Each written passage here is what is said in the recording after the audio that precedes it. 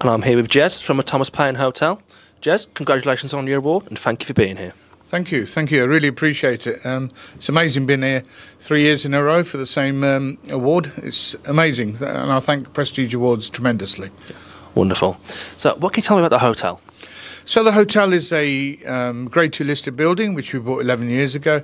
Goes back to 1743, uh, birthplace of Thomas Paine, famous author, famous uh, founding father of America, signing of the Declaration, and um, you know, amazing guy that we've managed to resurrect um, into the local community and bringing it into the local community is also uh, ignited uh, the world, especially the Americans, to come and visit his birthplace.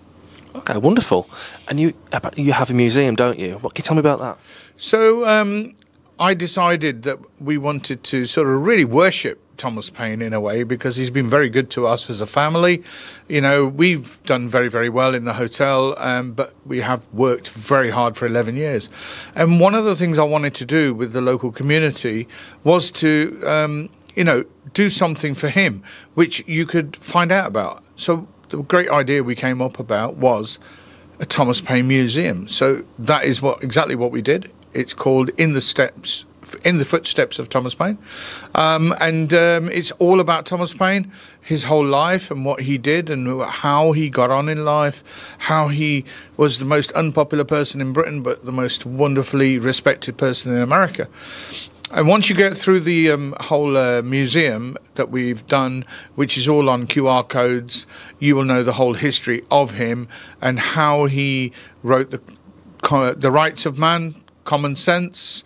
Um, and another thing I forgot to say actually is uh, we actually have the Common Sense Brewery, which we um, um, built at the hotel, which produces the Thomas Paine Ale, only available at the Thomas Paine Hotel in Thetford in the whole world.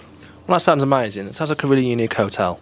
So, other than the museum and the brewery, what can you tell me about the hotel itself? So, the hotel has um, uh, 11 rooms. Um, we built a new function room at the hotel last year, and we now focus on weddings, functions.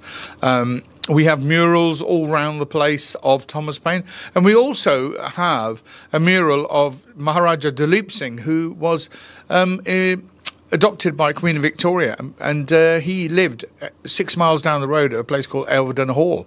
We have an actual um, following from the local, uh, the worldwide Sikh community who come to see the actual mural we've done of him as well. So it's not just about us, it's about Thomas Paine, it's about Maharaja Dalip Singh, it's about the local community. And the footfall that comes into the town because of the hotel is amazing. So we're really, really, really chuffed with ourselves. Well, it sounds like a really amazing place. So congratulations on that. So, so, what are the future plans for the hotel? So the future plans are we are focusing on fantastic, chic, small weddings. So we can do weddings and functions, anything up to 100 people. Uh, we have a license, ceremony license that um, we can have three weddings at the same time. We've got three different rooms, and uh, the kind of things we're doing in the local area, we happen to be the one um, that the only place that does this in the town. So we're really, really proud of what we're doing. And uh, going forward for the future, I hope it just goes through for generations and for the younger children and colleges um, that we also work with. So the um, uh, elementary school at the uh, Lakenheath the United States Air Force Base also bring their children for history classes, which is amazing, you know, to have history classes at our hotel. And then what do we do afterwards? We tell everybody about the afternoon teas that we do, going back to that era, brought into this world by the Duchess of Bedford. And I actually tell the story to everybody. Well, Thomas Paine sounds like a really one off hotel. It sounds amazing.